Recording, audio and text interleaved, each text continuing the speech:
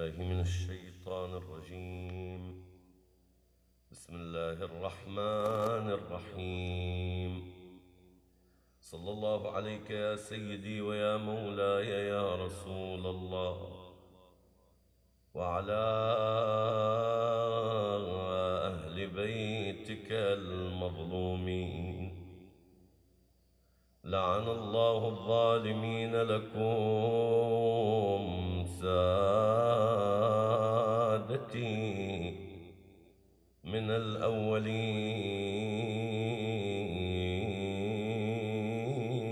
والآخرين. يا رحمة الله الواسعة ويا باب نجاة الأمة ما خاب من تمسك بكم وأمنا من لجأ إليكم. فيا يا يا يا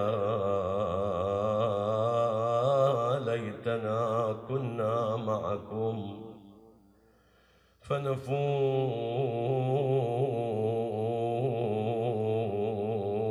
فوزا عظيما. لقد هاج في قلب الشجي غرام لركب بجرعاء الغميم أقاموا صروا فأذلت الدمع إثر مسيرهم دما والحشا مني عراه سقام سقام ظللت أنادي في الربوع فلم تجي ندائي وأن للربوع كلام أحبابنا أحبابنا هل من سبيل لوصلكم؟ فيحيا فؤاد لج فيه هيام وهل نلتقي بعد الفراق سويعة؟ فيطفى من القلب الشجي أوام فيا سعد دع عنك الصبابة والهوى وعريج على من بالطفوف أقاموا. وحي كراما من سلالة هاشم. نمتها إلى المجد الأثيل كرام.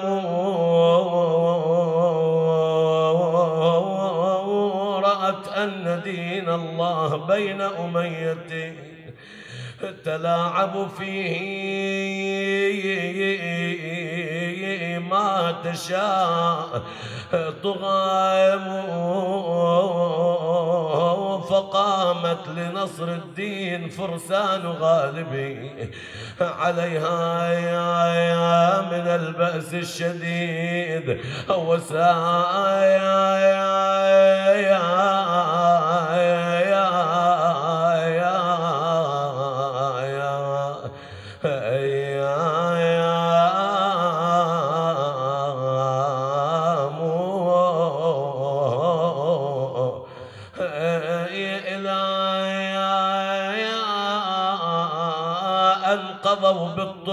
بين مبضعين ومنعفرين منه تطاير فجاءهم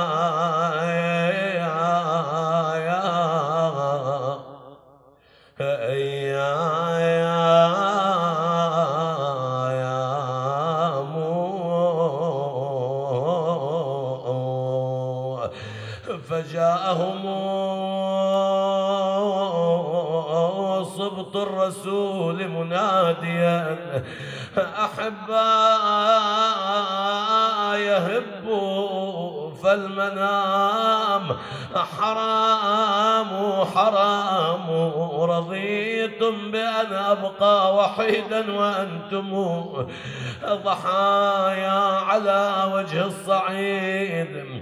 النيام ويا لنا يادت ونمنين وانت منين يا أبين والله يا أبين يا أبين أخذت إخوتي عباس وحسين. والله وانصايرنا السبعين واثنين نادت وأنا منين جتني كربلا منين؟ أي وأنا منين جتني كربلا يا يا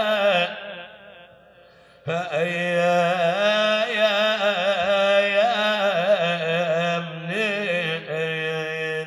إنا لله وإنا إليه راجعون لا حول ولا قوة إلا بالله العلي العظيم. يقول أمير المؤمنين ومولى الموحدين. علي بن أبي طالب عليه السلام. والله لأن أبيت على حسك السعدان مسهدا أو أجر في الأغلال مصفدا. أحب إلي من أن ألقى الله ورسوله ظالما لبعض العباد. وغاصبا لشيء من الحطام وكيف أظلم أحدا لنفس يسرع إلى البلا قفولها ويطول في الثرى حلولها.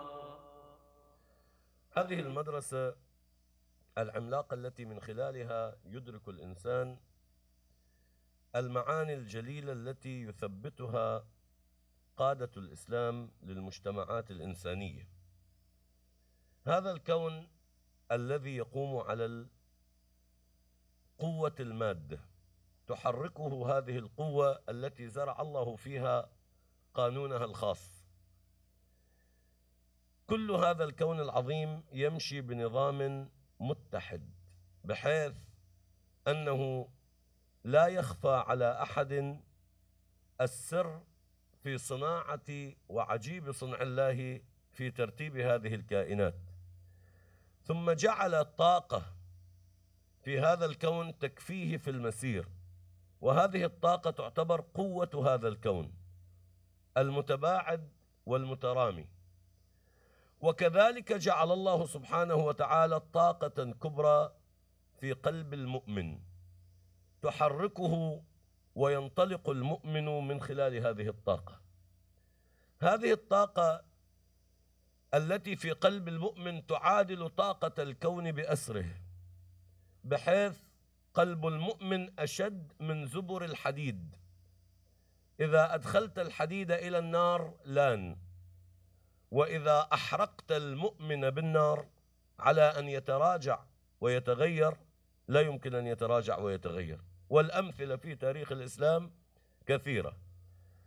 من حجر ابن عدي الكندي وأمثال حجر من حواريي أمير المؤمنين بالآلاف تستطيع أن تحصيهم عبر مسيرة الزمن إلى يومك هذا بل بالملايين.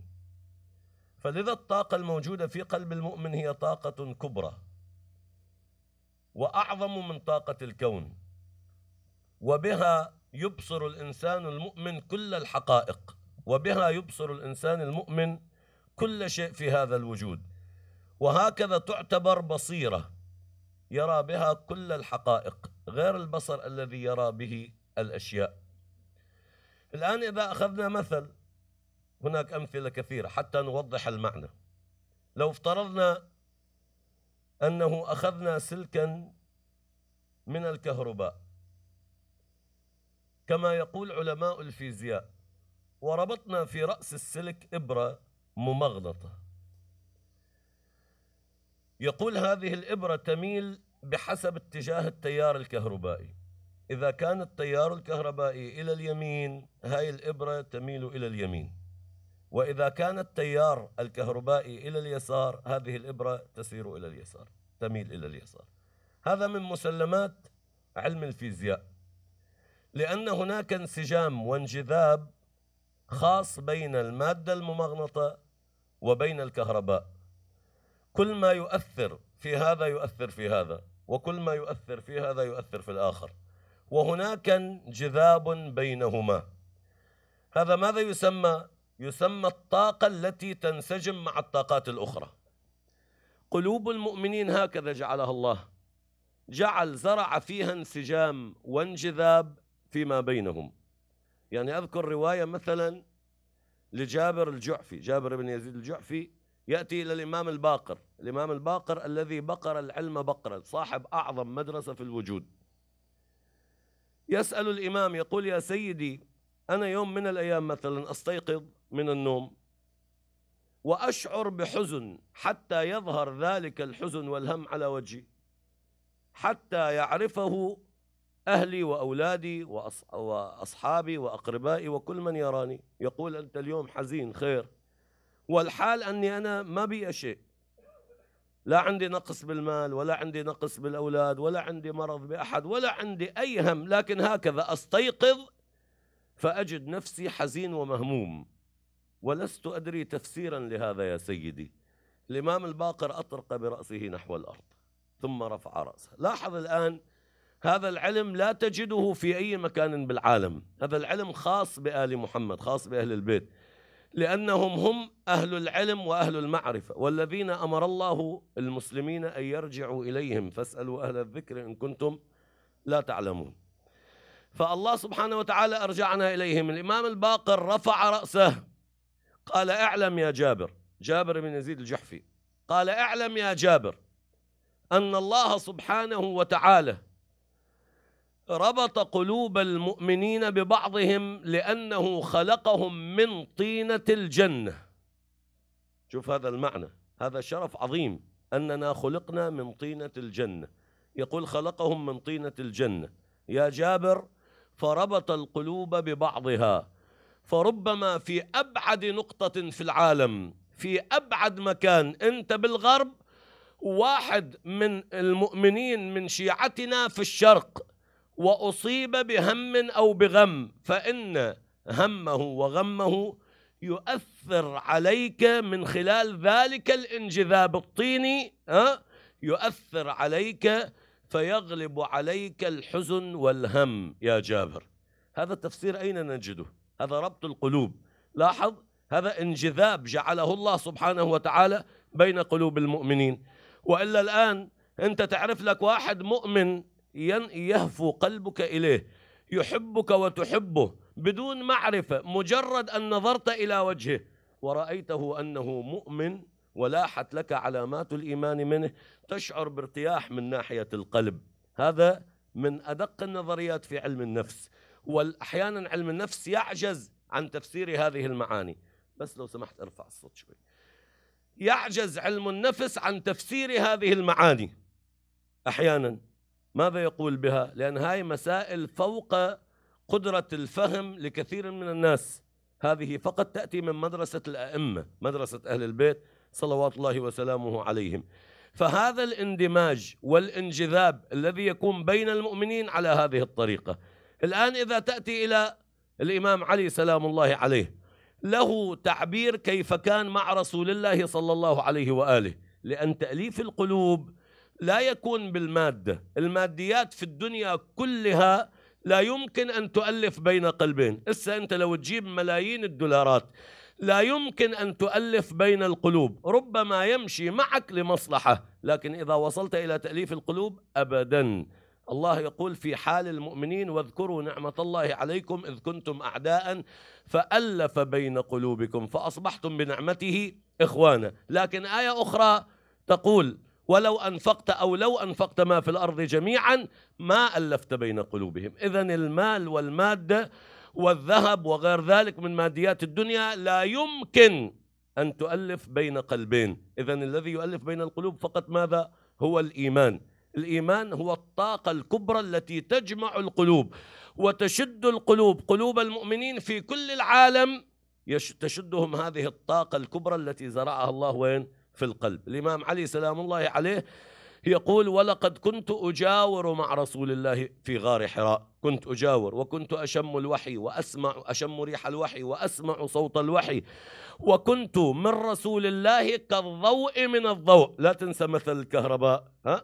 يقول لك وكنت من رسول الله كالضوء من الضوء. هكذا كان أمير المؤمنين من رسول الله.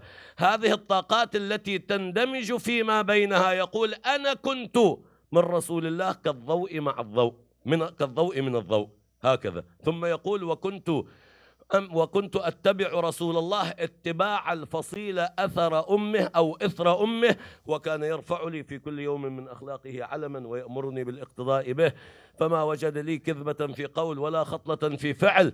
هذا علي بن أبي طالب يبين مكانته من رسول الله وأعظم شيء أن الله سبحانه وتعالى يعني جاءنا بعلي بن أبي طالب إلى الدنيا في بيت الله. وبعد ذلك بدل ما أمه فاطمة بنت أسد تهز مهده بيمينها الله أوكل هذه المهمة إلى النبي المصطفى فأخذه وهو رضيع من أمه وجعله إلى جانبه وكان يضع فراشه إلى جنب فراشه وكان يهز مهده بيده لينشئه تلك النشأة على عين الله سبحانه وتعالى. فعلي بن أبي طالب هو ربيب المصطفى محمد صلى الله عليه وآله.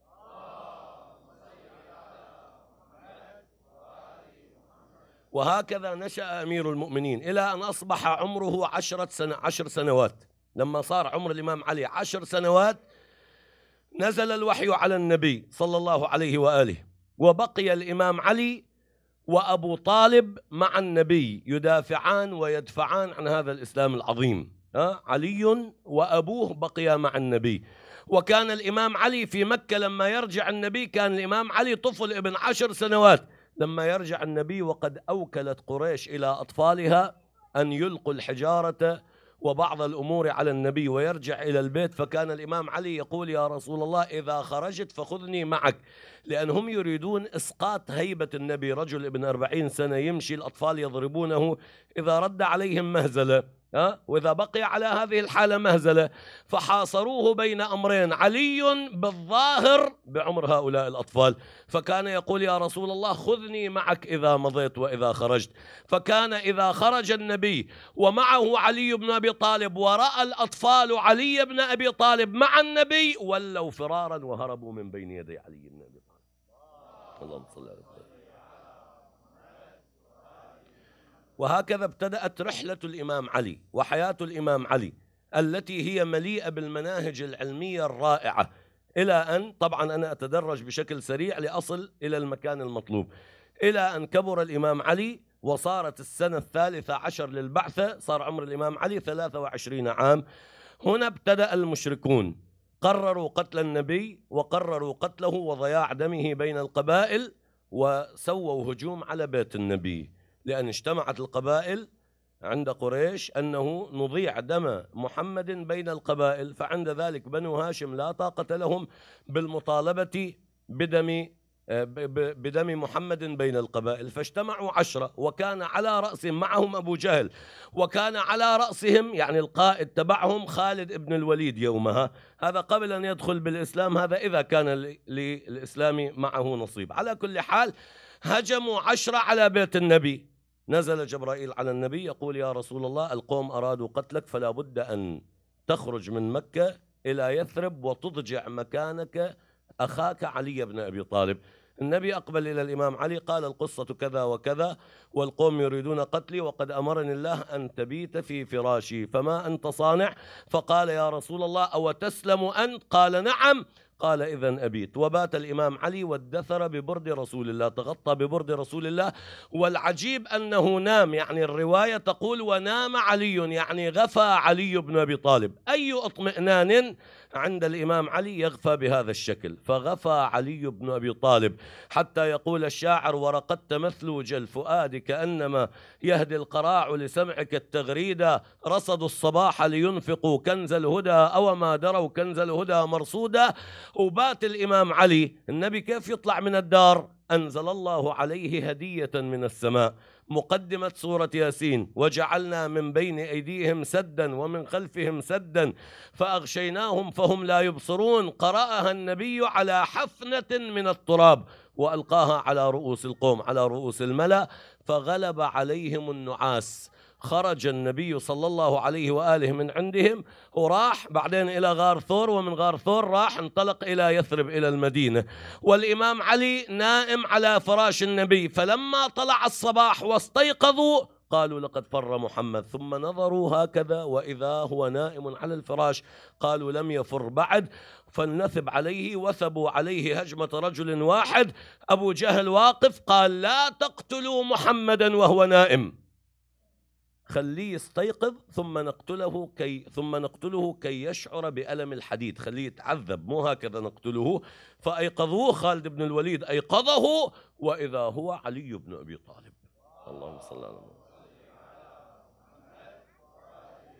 فعند ذلك نظروا إليه قالوا قالوا لعلي أين ابن عمك؟ قال وهل جعلتموني رقيبا؟ أنتم نصبتموني رقيبا عليه حتى أخبركم.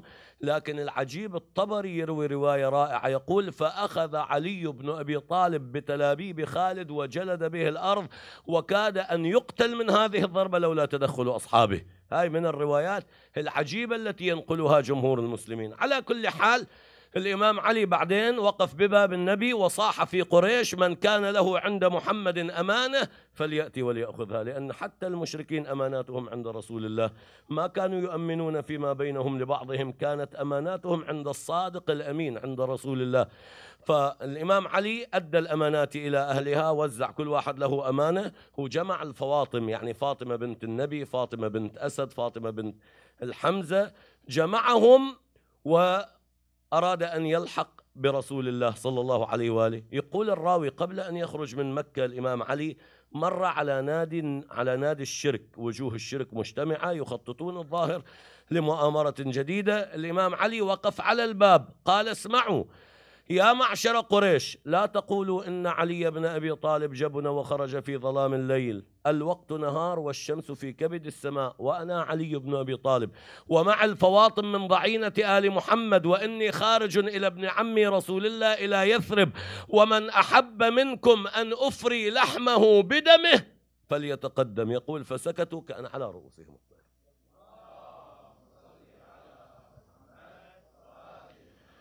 بعد ذلك الإمام علي انطلق راح مشى تبعه أبو جهل لحقه أبو جهل توكل هو بقضية قتل الإمام علي. فأخذ معاه أبو جهل جبان أخذ معاه عبد أسود وانطلق حتى يقتل علي بن أبي طالب. عبد كبير ضخم عضلات مفتولة متانة قوية. وصل الإمام علي شاف أبو جهل وصل. النساء خافت فاطمة فاطمة بنت أسد. الإمام علي نحى الجميع للنساء نحاهن. ثم أقبل استل سيفه ووقف. أبو جهل قال للعبد امضي وأتني برأس ذلك الشاب. اذهب وجب لي رأس هذا الشاب. ركض العبد باتجاه علي بن أبي طالب، الإمام علي والعبد راكض استلمه بضربة واحدة، تركه ميت على الأرض يعالج بصره. ثم قال له لما رأى هكذا أبو جهل نظر إلى العبد الآن كان على قيد الحياة كيف قتل؟ برمشة عين ما رأى كيف قتله علي. فنظر متعجب ثم نظر في وجه علي. الإمام علي قال يا أبا جهل إن أحببت أن ألحقك بصاحبك تفضل. فقال لا داعي يا علي نحن وأنتم من شجرة واحدة. عد لكي لا تشمت بنا قريش. الإمام علي قال والله لن أرجع معكم حتى يرجع معكم أكثر شعرة. يعني اقطع رأسي يعود إلى مكة. أما أنا مصمم على الذهاب إلى رسول الله إلى يثرب. طبعا النبي بعد ما دخل المدينة وهي إشارة ظلم في رواية الهجرة يظلم بها علي بن أبي طالب لأن هذا بيان لفضل علي. النبي ستة أيام واصل على باب المدينة. ستة أيام لم يدخل المدينة. ستة أيام على قبة واقف في منطقة اسمها قبة. النبي هناك ستة أيام والإمام علي بعد ما وصل. أصحاب النبي من حوله الذين هاجروا مع النبي واللي طلعوا أصحابه.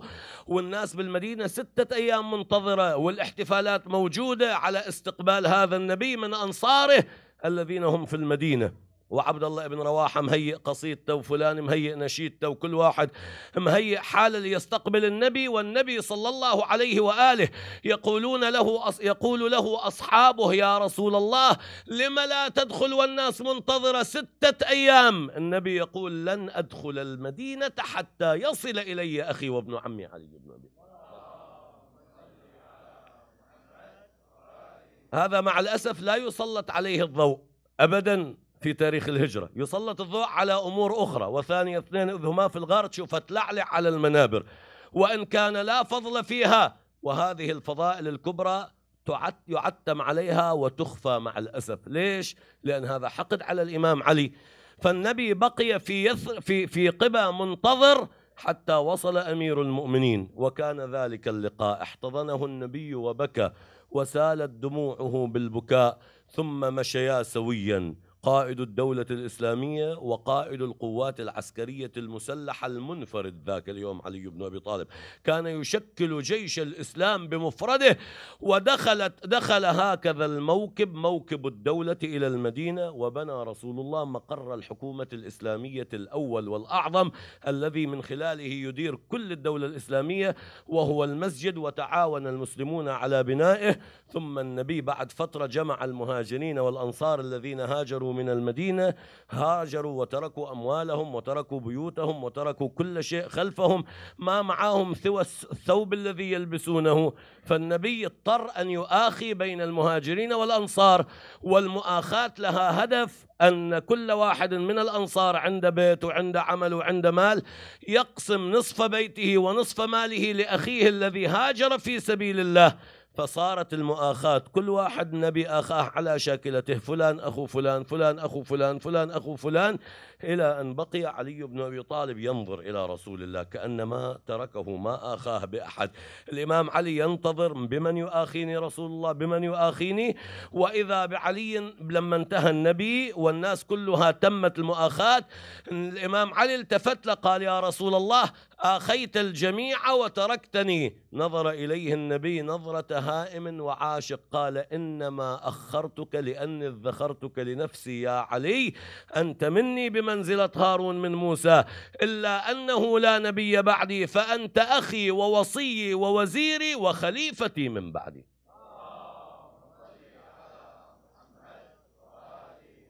يقول نظر النبي إليه نظرة عاشق. ثم انثنى نحو السماء بتهجد. رفع اليدين إلى الإله بقوله يا رب في الزمن القديم الأبعد هارون مع موسى جعلت أخوة وعليا اجعله أخا لمحمد. وابتدأت رحلة الإمام علي الجهادية في المدينة. 83 معركة خاضها النبي الإمام علي نصيبه منها 82 معركة فقط معركة واحدة. النبي صلى الله عليه معركة تبوك النبي صلى الله عليه وآله خلف عليا في المدينة وهناك قال أنت مني بمنزلة هارون من موسى ابقى في المدينة. وإلا 82 معركة في كل معركة كان علي بن أبي طالب سيدها وإمامها وقائدها وبطلها. والفارس فيها ولولا سيف علي بن أبي طالب لما قام هذا الدين ولما استقام هذا الإسلام على الإطلاق. وكان النبي صلى الله عليه وآله يصف علي بأوصاف في المعارك لا مثيل لها. مرة يقول عنه برز الإيمان كله إلى الشرك كله ومرة يقول ضربة علي تعادل عبادة الثقلين من آدم إلى يوم القيامة. ومرة استدعى أن ينزل جبرائيل لأن النبي جريح بالأرض ما يص يستطيع أن يتكلم في معركة أحد لما فر المسلمون. هؤلاء اللي نسمع أسماءهم رنانة على الفضائيات كلهم هربوا. لم يبقى إلا علي بن أبي طالب وأربعة نفر من بني هاشم ونسيب المازنية التي قال عنها رسول الله. إن لموقف نسيب المازنية أفضل من موقف فلان وفلان وفلان. وإذا علي بن أبي طالب يدفع عن رسول الله ويقتل المشركين بسيفه وهو ذائب يدافع عن رسول الله. وأبدى شجاعة أمير المؤمنين تضرب بها الأمثال حتى اهتزت السماوات بالملائكة. من شجاعة علي فنزل جبرائيل ما استطاع أن يبقى صامتا. وقف بين السماوات والأرض مادحا يد علي قائلا لا سيف إلا ذو الفقار ولا فتى إلا علي.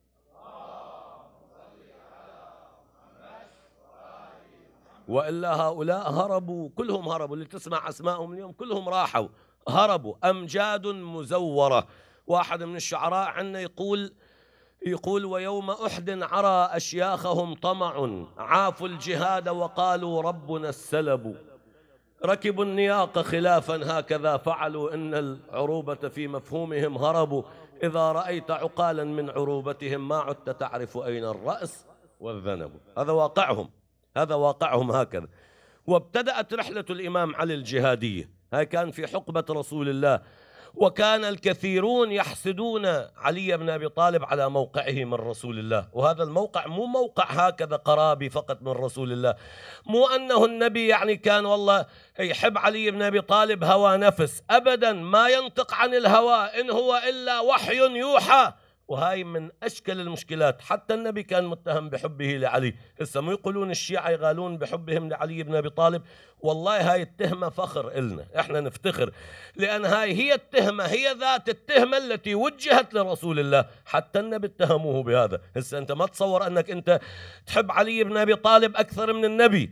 وأنك متهم والنبي مو متهم. حتى رسول الله صلى الله عليه وآله اتهموه بهذا. وقالوا عنه أكثر مما إحنا بسيطة يقولون عنه الشيعة يغالون في علي. النبي لا قالوا عنه هام وظل وغوى في حبه لابن عمه. هاي الألفاظ هاي جابوها. قالوا لقد غوى وظل محمد في حبه لابن عمه. ليش؟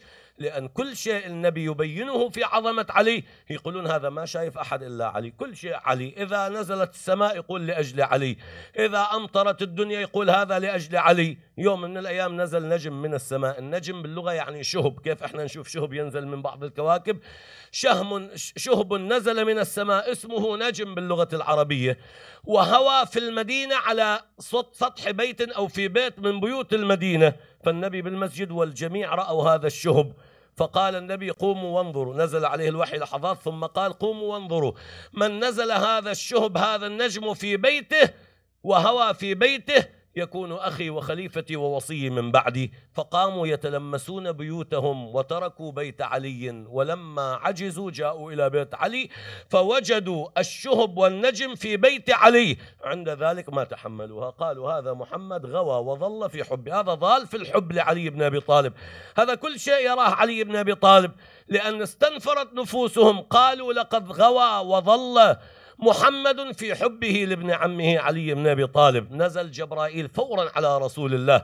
يقول له يا محمد بسم الله الرحمن الرحيم. يعني الله يقرئك السلام ويقول لك بسم الله الرحمن الرحيم والنجم إذا هوى. ما ظل صاحبكم؟ يقول لهم صاحبكم. هاي اريدها بين قوسين تأخذها معك صاحبكم ها؟ هاي. يقول والنجم إذا هوى. ما ظل ما ظل صاحبكم وما غوى. وما ينطق عن الهوى إن هو إلا وحي يوحى فكانوا يتهمون النبي بالغلو مو بس إحنا نتهم بالغلو لعلي بن بحبنا لعلي بن أبي طالب. حتى النبي كان متهم بهذا والله يقول لهم ما ظل صاحبكم وما غوى أنتم شلون تتهمون رسول الله؟ وهذا أمر من الله. فالنبي كان يبين كل عظمة علي بن أبي طالب صلوات الله وسلامه عليه بأمر من الله. لما سد الأبواب وأترك باب علي بن أبي طالب كذلك هذا الإمام العظيم الذي عرف عظمته كل من عاش في تلك الحقبة ولكنهم حسدوه بعد ذلك. وإذا الإمام علي يعطي الإسلام عزا لا عز بعده. والآن حتى الآن اسأل لك أي باحث إسلامي. قل له يا عمي تعال شيل علي بن أبي طالب من تاريخ الإسلام. ماذا يبقى في تاريخ الإسلام؟ صفر لا شيء أبدا. ما أظلم أحد لا يبقى شيء لولا علي بن أبي طالب. حتى قال بعض العلماء ما قام دين محمد إلا بسيف علي وما لخديجة. هذا واقع. اللهم صل على سبعد موت النبي هاي حقبة ثانية في حياة أمير المؤمنين. مات النبي ظلم الإمام علي أقصي عن حقه أبعد عن الخلافة حوصر الإمام علي بقي الإمام علي في المدينة يصلح حفواتهم وينجي الإسلام من الضياع. إذا جاء مجموعة من الآخرين من اليهود أو من النصارى عندهم أسئلة للخلافة الإسلامية وفي الإسلام إذا إجوا يسألون الخليفة الخليفة ضايع. إذا إجوا يسألون أي واحد ضايع ليس لهم إلا علي بن أبي طالب. وإذا يوم من الأيام إجوا ثلاثة من الأحبار من اليهود دخلوا المدينة سألوا أين خليفة نبيكم؟ قيل لهم بالمسجد. هذا في زمن حكومة عمر الحكومة الثانية. قيل لهم بالمسجد فدخلوا سلموا على عمر. موجود مجموعة من الصحابة.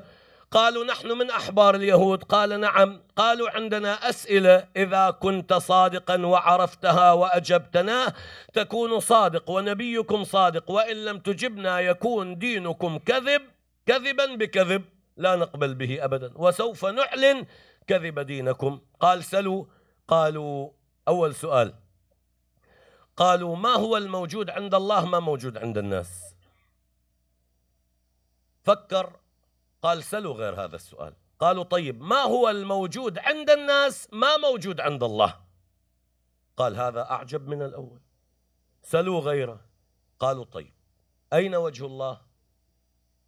فأسقط في يده. قالوا إذا دينكم ليس صحيحا. سلمان حاضر. قال مهلا. أقبل على باب علي باب الإمام علي بالجامع. طرق الباب. يا أمير المؤمنين أنقذ الإسلام. هو المنقذ. هو منقذ الإسلام. يا أمير المؤمنين أنقذ الإسلام. خرج الإمام علي خير وضع رداءه على كتفه. خيرا يا سلمان. قال القصة كذا وكذا وكذا. قال أوقفهم. أوقفهم سلمان. خرج الإمام علي قال اسمعوا أنا أجيبكم عما تسألون. بأي شيء سلوا عن أي شيء أخبركم. وكما تشاءون وكما في توراتكم. بشرط إذا أخبرتكم كما في توراتكم. تدخلون تدخل الإسلام؟ قالوا نعم. يا أبا الحسن. فقال سلوا عما بدا لكم. قالوا ما هو الموجود عند الله؟ عمر يسمع والأصحاب يسمعون. ما هو الموجود عند الله؟ ما موجود عند الناس؟ قال العدل. عن ظهر قلب هكذا. قال العدل موجود عند الله ما موجود عند الناس لأنه هو أكبر مظلوم أمير المؤمنين. أول مظلوم ظلم علي بن أبي طالب وأعظم مظلوم ظلم علي بن أبي طالب. لو هذه الدنيا وبين الناس يوجد عدالة كان علي بن أبي طالب يقصى عن موقعه ويقصى عن مركزه ها؟ أمير المؤمنين اللي امتلأ علما من رأسه إلى أخمص قدمه الذي يقول سلوني عن طرق السماوات إني أعلم بها من طرقات الأرض. ما أخبرتموني ما سألتموني عن شيء إلا وأخبرتكم بما كان وما هو كائن وما ستلقونه إلى يوم القيامة. سلوني عن أي شيء. فالإمام علي قال العدل. قالوا صدقت هكذا في توراتنا. ما هو الموجود عند الناس؟ ما موجود عند الله؟ قال الظلم. الظلم موجود عند الناس لكن وما ربك بظلام للعبيد. قالوا صدقت هكذا في توراتنا. طيب أين وجه الله؟ قال يا سلمان أشعل النار. سلمان أشعل نار هكذا. على يعني على حديدة أشعل النار. لما اشتعلت النار وتصاعد لهيبها الإمام علي التفت إليهم. قال أين وجه النار؟ وقفوا من هاي الناحية شافوا وجه للنار. وقفوا من الناحية الأخرى شافوا وجه للنار. وقفوا من الجهات الأربع. أينما وقفوا موجود وجه للنار. قالوا يا أبا الحسن أينما نولي وجوهنا؟ فثم وجه النار. قال كذلك أينما تولوا وجوهكم؟ فثم وجه الله. قالوا صدقت يا أخا رسول لاحظ لاحظ. صدقت يا أخا رسول الله. إن اسمك في توراتنا. يا أخ رسول, رسول الله مد يدك. إنا بين يديك نشهد أن لا إله إلا الله وأن محمد رسول الله وأنك أنت خليفة رسول الله.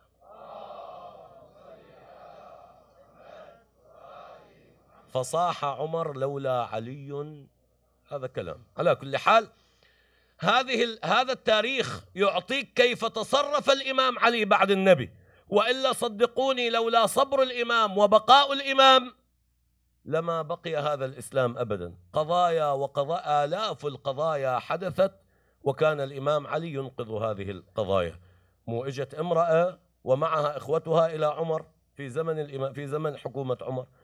ومعها إخوتها وتشتكي على يشتكون على شاب أنه يدعي أنه ابنها وهي تقول هذا ليس ابني أنا بريئة منه.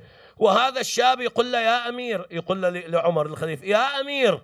يقول له هذه امي التي ولدتني ولكن خافت من إخوتها. فرفضتني أنا ابنها وهي أمي.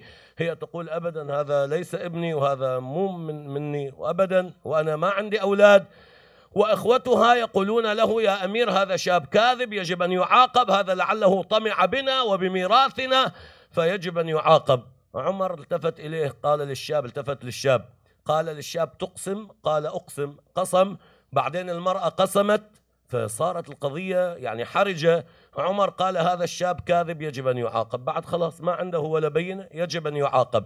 هل أثناء مر الإمام علي خرج من الدار الشاب تعلق بالإمام علي قال يا أبا الحسن أقسم عليك إلا ما نظرت في قضيتي. فالإمام علي قال خير ما القضية؟ قالوا القضية كذا وكذا. عمر جالس قال له يا علي القضية كذا وكذا افصل بها. قال والله لأحكمن بها هذا اليوم. التفت إلى المرأة قال هذا من؟ قالت ليس ابني. لا أعرف هو يدعي أنه ولدي وهو ليس ولدي. التفت للشاب قال وأنت؟ قال والله يا, يا أبا الحسن هذه أمي التي ولدتني. هاي هي أمي. الإمام علي التفت إلى إخوة المرأة. قال إن أمر أختكم لي تعطوني أمر أختكم؟ يعني تخلوا الولاية بيدي قالوا لك ذلك. قال ترضون بأي شيء؟ قالوا لك ذلك. يعني أنت أصبحت يا علي ولي هذه المرأة. مثل أبوها يحق لك أن تزوجها أن تطلقها. أنت وليها يا أبا الحسن. نحن أوكلنا إليك ولايتها. قال جيد. إذا هذه الولا... أصبحت ولايتها لي تعال أيها الشاب. إني قد زوجتك هذه الامرأة والصداق من مالي فخذ امرأتك واذهب بها. فصاحت يا أمير المؤمنين العار ولا النار. الله أكبر. هذا ولدي وابني. فصاح عمر لا طاب المقام بأرض ليس فيها أبو الحسن.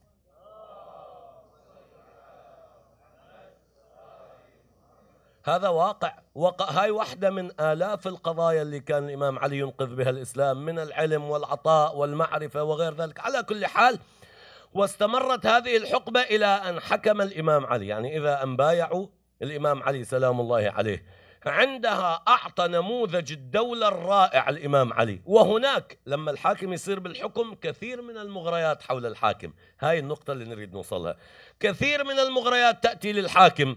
هذا يقول له أنا أخوك نصبني وزير. هذا يقول له أنا ابن عمك خليني معاك في مكان ما.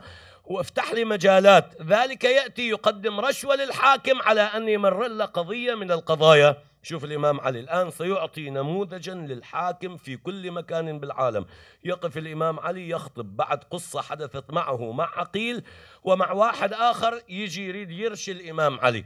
فالإمام علي وقف على المنبر قال والله لأن أبيت على حسك السعدان. حسك السعدان شوك كالإبر.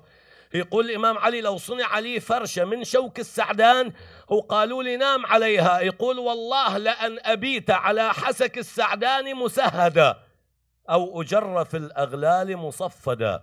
أحب إلي من أن ألقى الله ورسوله ظالما لبعض العباد وغاصبا لشيء من الحطام. وكيف أظلم أحدا لنفس يسرع إلى البلا؟ قفولها ويطول في الثرى حلولها. أما والله لقد رأيت أخي عقيلا وقد أملق. عقيل ابن أبي طالب اللي كان يقول رسول الله أحبه حبين حبا له وحبا لحب أبي طالب. شوف المدرسة الرائعة. النبي يعلمنا أن نحب على أن نحب على محبة أبي طالب. الذي يتهمه المسلمون مع الأسف بالشرك. يقول يعلمنا النبي بمدرسته أن النبي يحب كل من يحبه أبو طالب فيعلمنا أن نحب على محبة العملاق أبي طالب ولي الله الأعظم أبي طالب. يعلمنا النبي هكذا يقول أحبه حبين حبا له وحبا لحب أبي طالب له.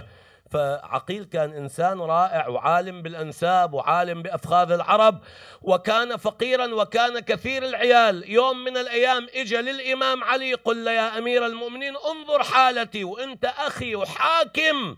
ليش ما تعطيني زيادة صاعا ما تقسم على المسلمين؟ هسه هو ما جاء بذنب. الإمام علي أحمال حديدة وقربها منه أراد أن يشعره بحر النار وإلا ما أحرقه. إذا تسمعون يوم الأيام واحد يقول لك الإمام علي أحرق أخاه عقيل هذا خطأ. ما أحرقه لأن عقيل ما إجا بذنب يستحق عليه الإحراق. ثم لو جاء بذنب بين يدي علي الإمام علي صاحب سماحة حاشا أن يتسرع هكذا. فالإمام فقط أدناها من بدنه ليشعر بالحرارة يريد أن يعطيه موعظة. فيقول الإمام علي يخطب على المنبر يقول أما والله لقد رأيت أخي عقيلا وقد أملق حتى استماحني من بركم صاعا. ورأيت صبيانه شعث الشعور غبر الوجوه غبر الألوان كأنما سودت وجوههم بالعظلم. هذا آه، يعني عشب مر. كأنما سودت وجوههم بالعظلم فعاودني مؤكدا وكرر علي القول مرددا فأصغيت إليه سمعي. فظن أني أبيعه ديني أو أتبع هواه مفارقا طريقتي فأحميت له أو إليه حديدة وأدنيتها من بدنه أدنيتها من بدنه ليعتبر بها. فضج ضجيج ذي دنف من ألمها وكاد أن يحترق من ميس سمها فقلت له يا عقيل! ثكلتك الثواكل. أتئن من حديدة أحماها إنسانها للعبه وتجرني إلى نار سجرها جبارها لغضبه. أتئن من الأذى ولا أئن من لظى؟ شوف المدرسة الكبرى وين موجود حاكم؟ اليوم أي حاكم يجي للسلطة تشوف أخوه وابن أخيه وابن عمه وابن خالته وابن أبيه وابن جيرانه كلهم هؤلاء يصيرون السلطة. بعدين يجي حاكم جديد هاي السلطة كلها تروح ويجي واحد آخر. وهي الإمام علي سلام الله عليه يبينها في الشقشقية العصماء خطبته في نهج البلاغة.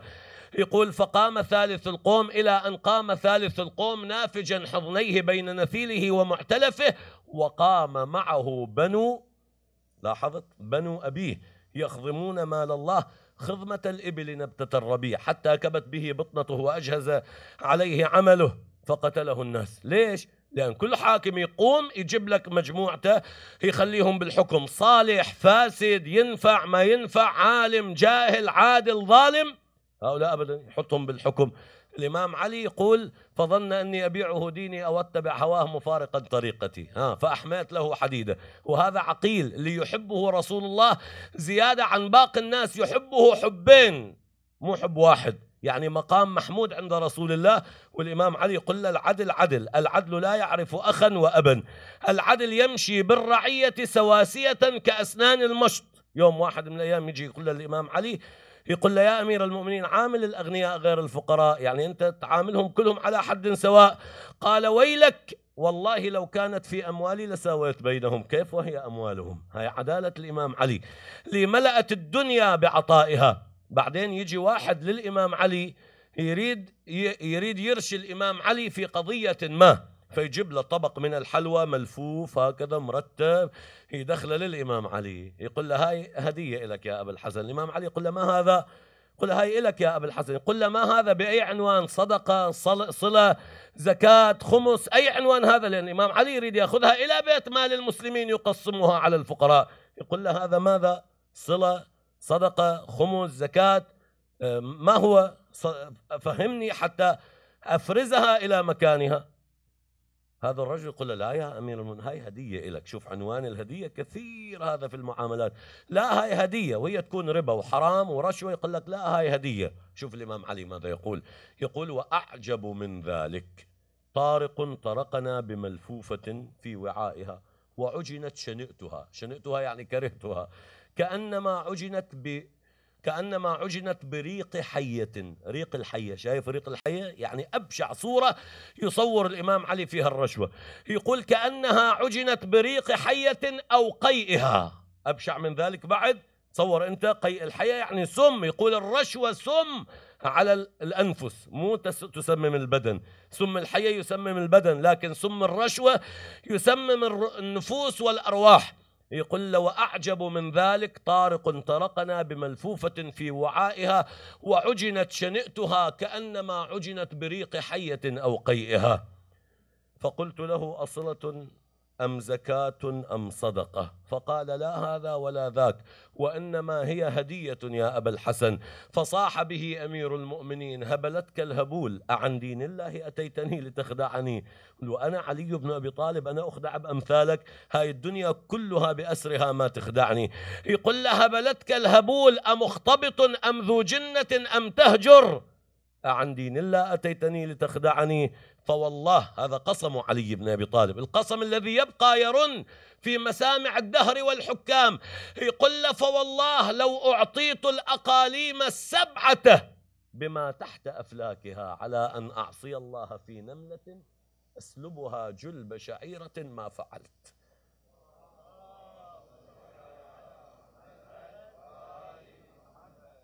هاي المنهجية والمدرسة هاي المنهجية والمدرسة الكبرى التي يعلمنا إياها أمير المؤمنين. هكذا كانت حكومة الإمام علي.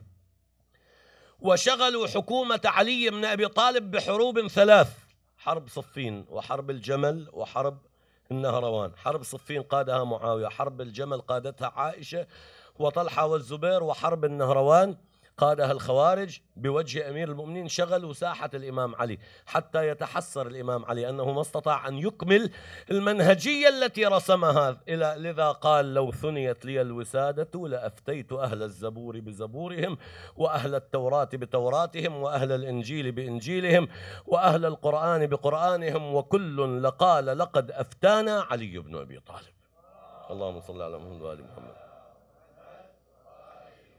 ولكن ما الذي جرى في تلك الحقبة؟ إجوا للإمام علي بالمسجد قتلوه في محراب الصلاة. هكذا افتتحت حياة علي في بيت الله. جاء أمير المؤمنين إلى بيت الله واختتمت حياته في بيت الله وقلبه كان بيتا لله والله.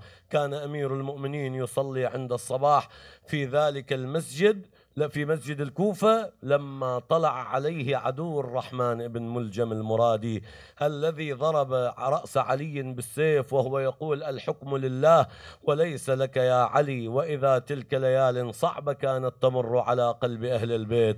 زينب تقول أنا كنت في تلك الليلة في بيتي فسمعت في تلك الليلة منادي ينادي بين الأرض والسماء تهدمت والله يا أركان الهدى. وانفصمت والله العروة الوثقى.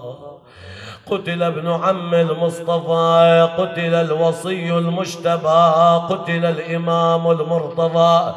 قتله أشقى الأشقياء فسمعت زينب ذلك الصوت. والله يا تولا جبريل ينعى. والله ينعى يا يا تخضب علي الكرار بدماء. قامت زينب طرقت الباب على أبي محمد الحسن. نادت أخي أبا محمد سمعت ناعا ينعى أبانا. قال نعم يا زينب عظم الله لك الأجر بأبينا علي.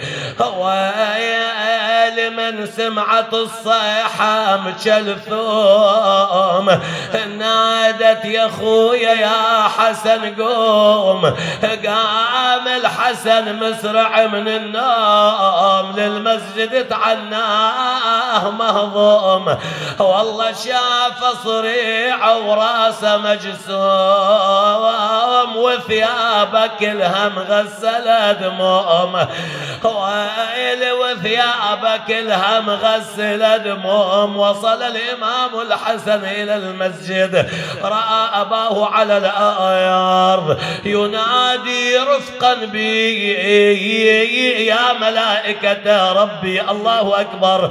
الملائكة نزلت عند أمير المؤمنين. عند ذلك نادى الإمام الحسن إلي بحصير. لما يا أبا محمد يريد أن يحمل يحمل أباه عليه. الله أكبر أمير المؤمنين الذي حمل باب خيبر اليوم يحمل على حصير.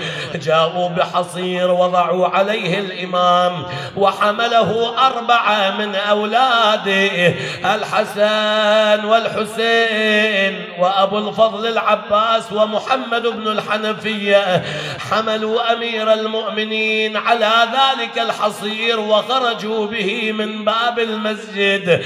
قصدوا باب الدار. وإذا بالإمام علي بالطريق يفتح عينه ثم ينظر إلى باب داره ثم ينادي أبنائي أنزلوني أمشي بينكم على هيئة السليم المعافى. قالوا أبا ولما تريد المسير؟ وأنت على هذه الحالة قال لأني رأيت حبيبتي زينب واقفة على الباب وأخشى أن تراني محمولا. والله صدقت ونادت يا المجبلين هالشايلين وياكم مني.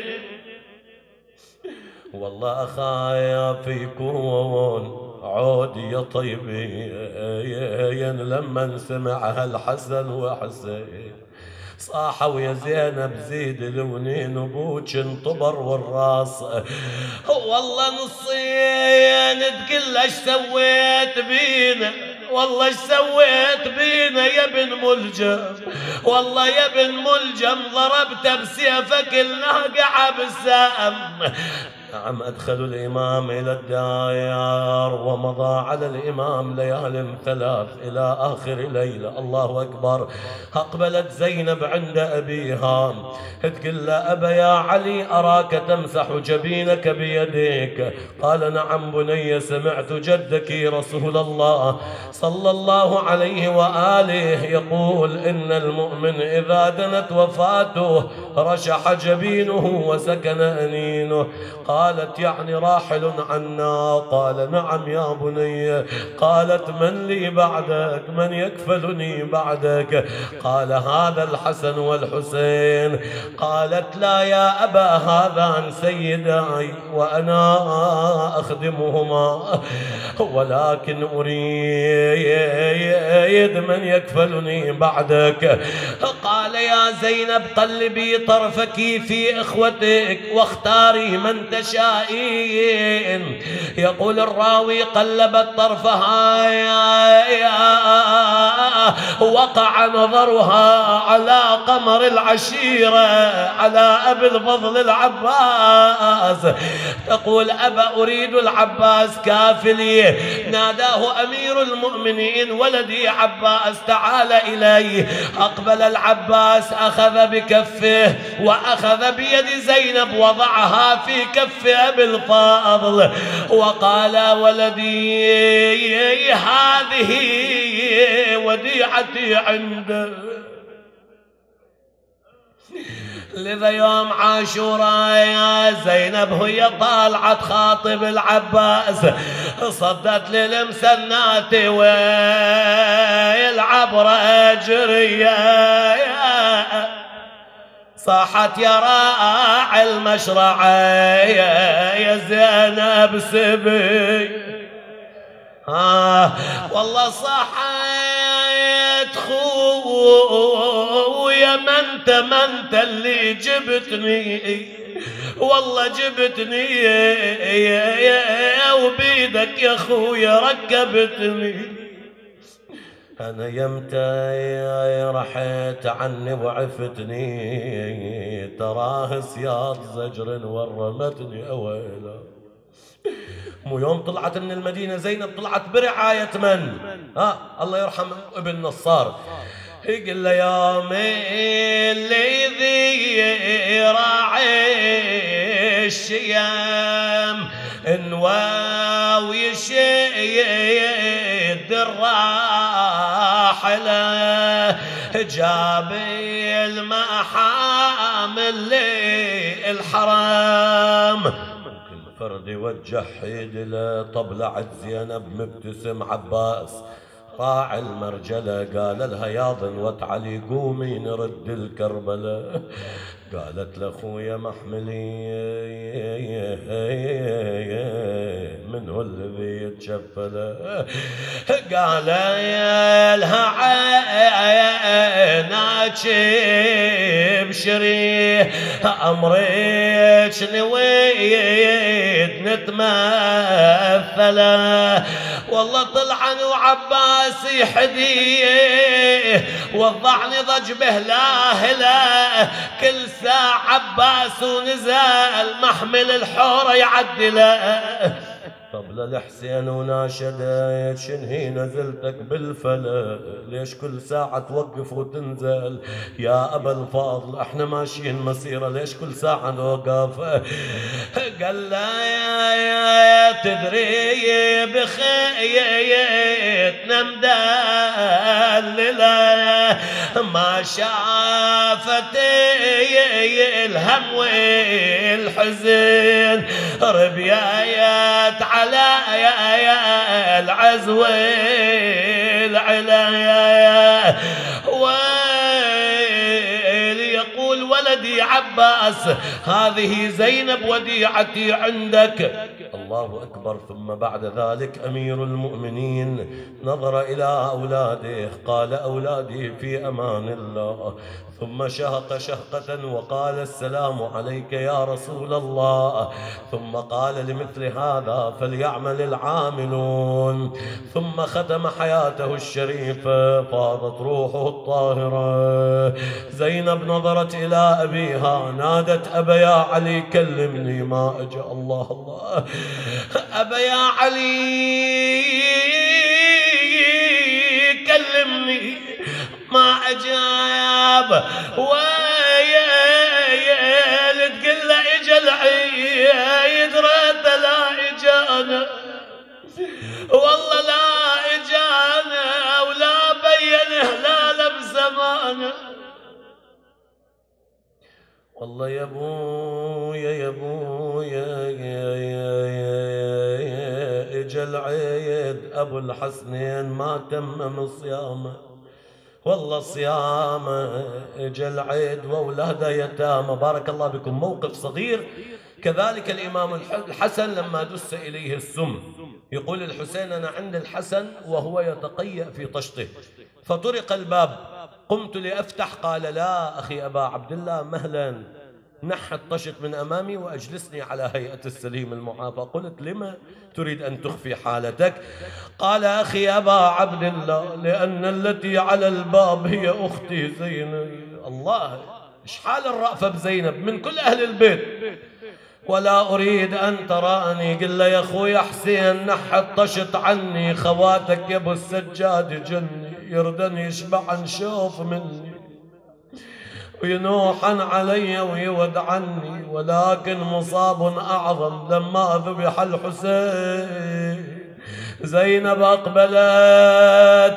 واقفة عند الحسين أقبل الشمر اللعين. وضع الرمح بين كتفي زينب وقال تنحي عنه يا زينب. قالوا وقعت زينب مغمى عليها يا, يا لما أفاقت. وجدت رأس الحسين على رأس القنايات. والله صاحت يا أهلنا يا يا يا حسينكم حز الشمر نحرة.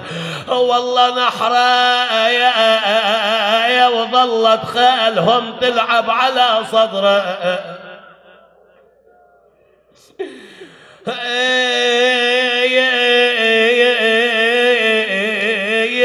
والله تقول لاخويا يا ريت السيف سق وجهي وعماني ولا أشوفك على الغبرة رمية. هذه كربلاء يا يا يا فحي ثراها واخلع النعل عند وادي طواها يا الله.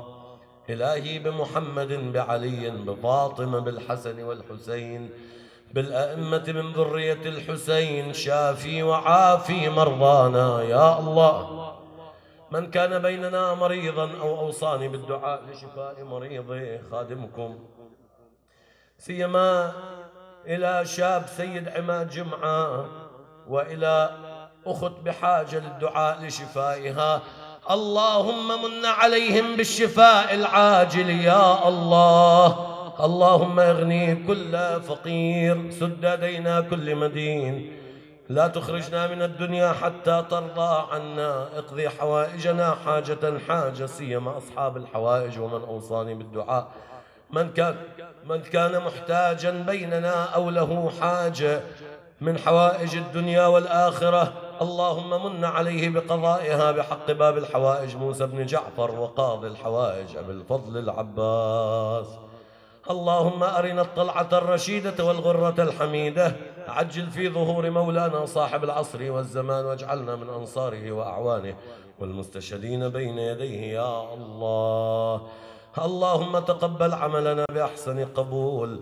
واحفظ إخواني وأخواتي وآبائي وأمهاتي أهلي أهل الفضيلة والعلم الحاضرين بيننا جميعا. المؤسسين لهذا الصرح المبارك المؤسسين لهذه المجالس العاملين على تفعيلها وخدمتها وخدمة الدين في هذه البلاد. وفقهم لما تحب وترضى يا الله. اللهم ثبتنا على ولاية علي بن أبي طالب. اللهم وفقنا تقبل عملنا ارحم عبراتنا. يا الله. اللهم ابعث إلى أرواح أمواتنا ولشفاء مرضانا وأموات الحاضرين والحاضرات والمؤمنين والمؤمنات منا ثواب الفاتحة مع الصلوات.